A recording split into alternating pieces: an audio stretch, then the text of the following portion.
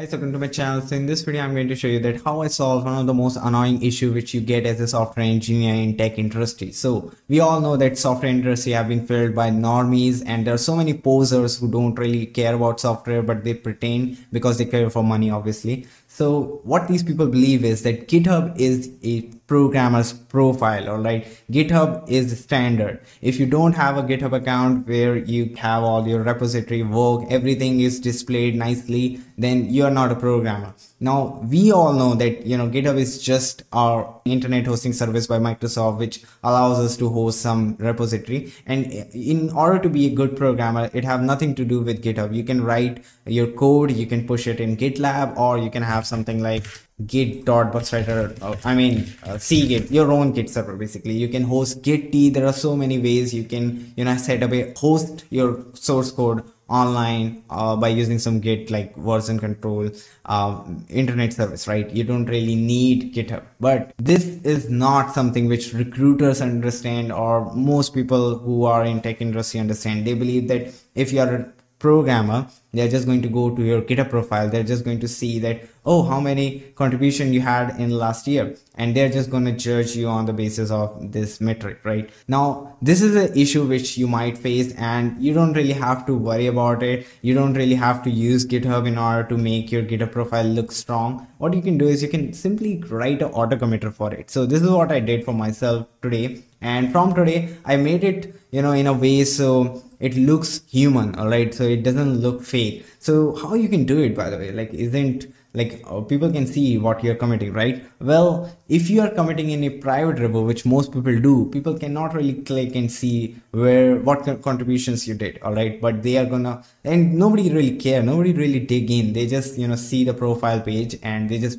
form an opinion okay? So i'm going to do this for one of my friend because he asked me. Now i really hate github. There is this easter egg which you can see what I'm going to do is I'm going to do the same thing for him. So I took his password. I asked for it. All right. So yeah, he, he trusts me and he, uh, you know, like, okay, so let's do it. So I also have his server. So he, okay, you have to run your own instance. Like guys, have one cloud instance. This is something which will help you a lot in a lot of situations. And get from justhost.ru it's not like uh, one of my friends use it. It's really cheap. Actually two of my friends are using it and it's not like sponsored or anything. Okay so let me just ssh into his uh, you know server.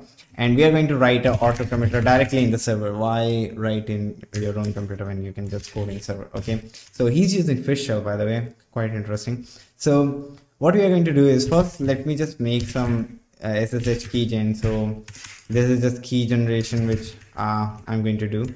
So that's it. Now in SSH directory.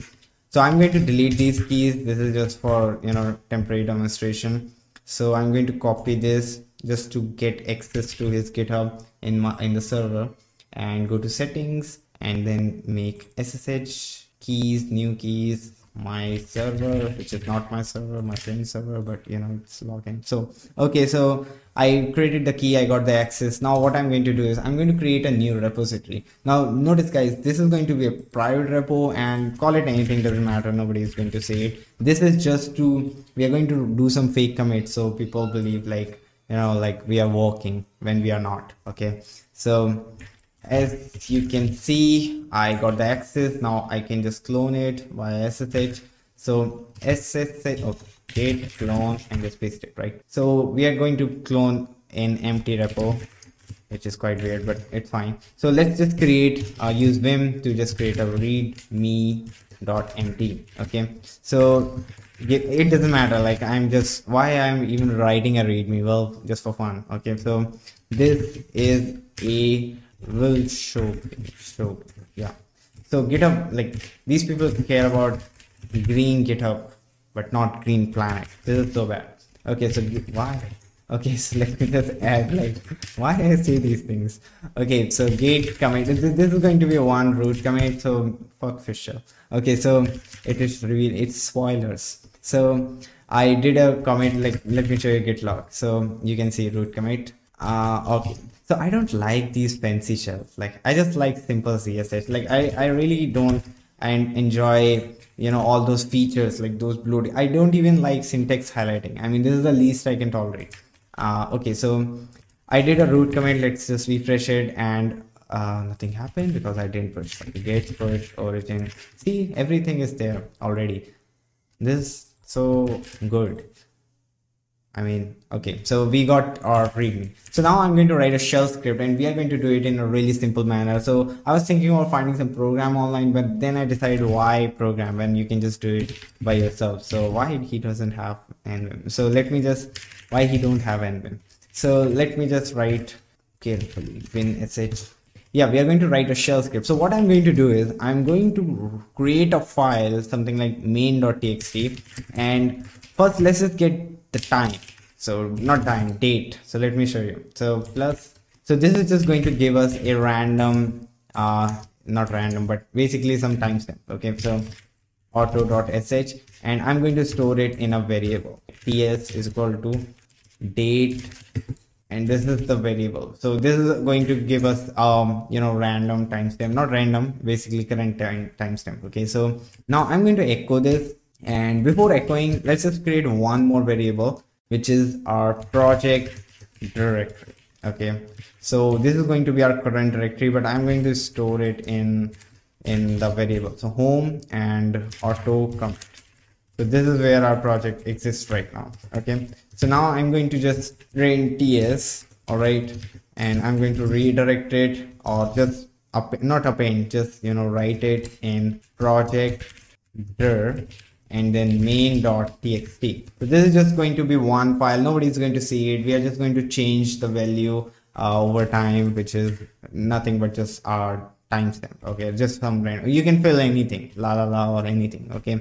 So after doing this, we are going to obviously use git and there is this flag in git minus c, which is going to, you know, tell us the uh, base like where we want to run a command in git. So basically when you use git you have to be inside the repo. So in code for example do i have any git repo? Let's just make some lab go black git init so if i type like git status here so it's working. But if i want to type git status here it's not gonna work inside blah because i'm not in blah okay? So what i can do is I can type git minus c and then blah and then type status. And as you can see it's working okay? So you got the idea of minus c. So now what I can do why there is no syntax highlighting? In the middle of the tutorial guys so annoying. So let's just open it and we, we are seeing some colors so nice. So now this is why I created this project dir so I can pass this as minus c. And then add dot what? Commit what message should I type? Just give us the TS or uh, automatic auto commit. So this is the time when we did the auto commit.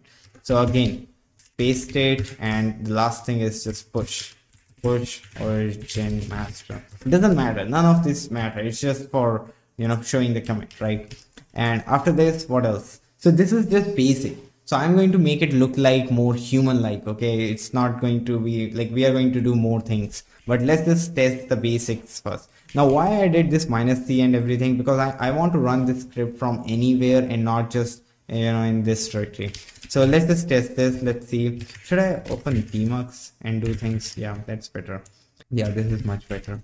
So now what i can do is so if i run this script from my home so let's just type like root and then auto commit and auto sh so as you can see so we did a commit we got all this and this is the second commit like we got two commit. Let's just run it again and see. So uh let's just refresh again. So we got the third commit. The third commit is nothing. It's basically just some bullshit. So our file is just some it, it's all bullshit okay? So this is working but right now there is one issue. So we are just doing one commit and what i'm going to do is i can run a crontab minus e and this is basically uh, it's going to ask for some editor. Let's just give the nvim third one and uh, let me just quickly close this thing below. So cron job is you know what cron is. It's basically the uh, we are going to run this daily okay? And what?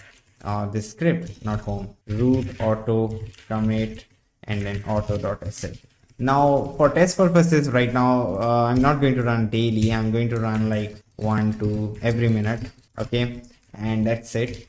And I'm going to close it. And after I close it, it's basically going to run every minute so every minute i'm going to get one commit here but this is not what i want like i want daily but uh, i also want to make these commits look a little bit random like someday i want more than two commits someday i want less commit. And for that i'm going to do a really simple thing. I'm going to make a random variable. So let's just create x is equal to and how do we create a random variable? Let me just show you. So okay let me just show you. Okay we are going to use shuf and then pass the i and 0 to 5 or 8 7 commits. 7 is the maximum. So i did i tried to look this up. On 7 you get like most green on one commit you get the least that's it okay?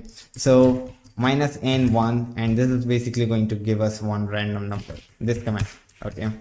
This command is going to give us some random number that's it. So let me just open auto sh and just paste this command here.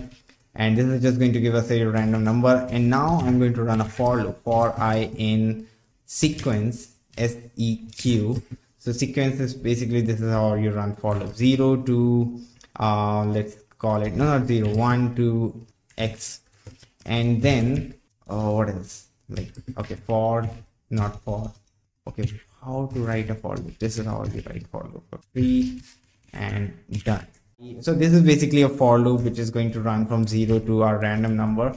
And uh, the purpose of doing this so every day we get different number of commits. All right we don't get same number of commits. So someday we do two commits someday we work a lot and do seven commits. So this is how so it will look fake. Now one more thing i want to do here is i want to add a if statement. If x is equal to uh, zero because if x is equal someday we have to take break right? So if x is equal to zero then then what? Exit uh, fi so basically we are not going to run this, uh, script that day, right?